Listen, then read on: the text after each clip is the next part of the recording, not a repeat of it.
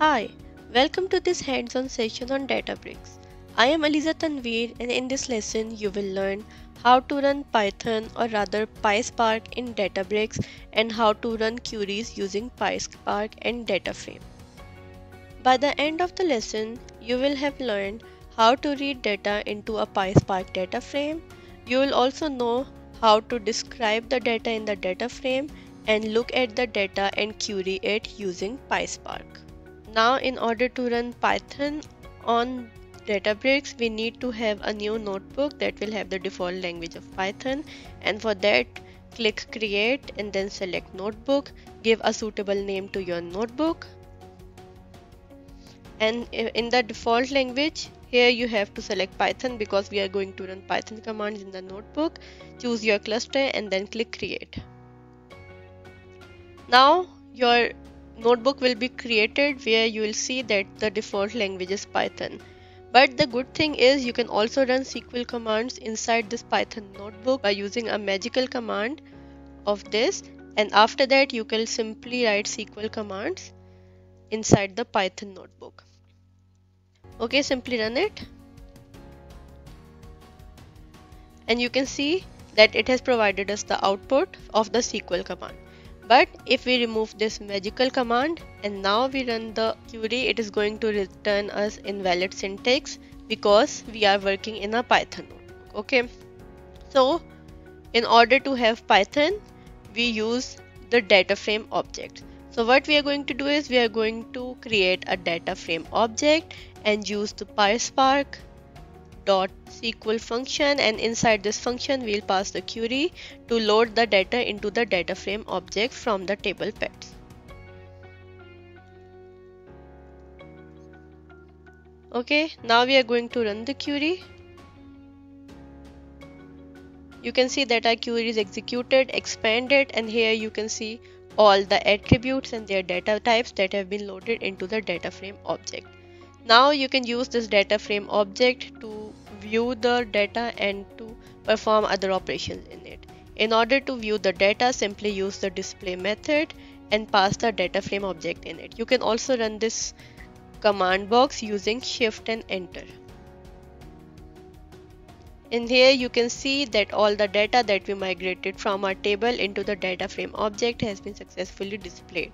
And just like we can find the number of rows using SQL we can do so using Python as well.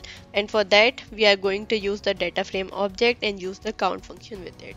Execute the query.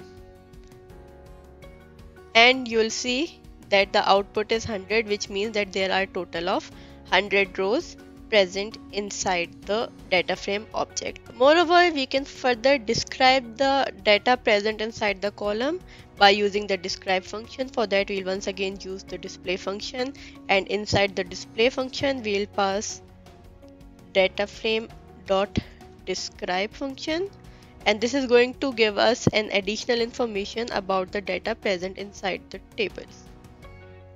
Here you can see that it has provided us the count which means the total number of pet IDs and total number of names etc. Mean for all the values, the standard deviation and the minimum and maximum values for all the particular columns. So the describe function is used to get some additional information about all the columns. Now if you want to display a particular column instead of displaying all the columns, you can simply write the query display use the data frame object dot select function and inside the function you simply type the column name that you want to display. Okay and then simply execute the query and it is going to display you the record for the column name. Okay similarly you can pass any column name here to display only that particular column. If you remember in the previous lesson that while running SQL and Databricks we run a query in which we group the result on the basis of age to get the number of pets for each particular age group. We can run a similar query in Python as well and for that we'll once again use the display method and in the side the display method we will use the data frame object to get its group by attribute and we are going to group the data on the basis of age. Then we will count the data and then we are going to order it on the basis of age get the number of pets for each age group. Okay now let's execute the query.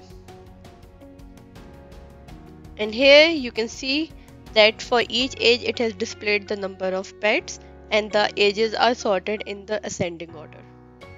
And just like we did visualization of the data in SQL we can also do so in Python by clicking here and then selecting visualization. And here you have various type of graphs. We are going to select the bar graph. And here you can see that all the record that we displayed has been visualized in the form of bar graph. So this is how you can run Python on Databricks in a new notebook. So this is all for this video. Thank you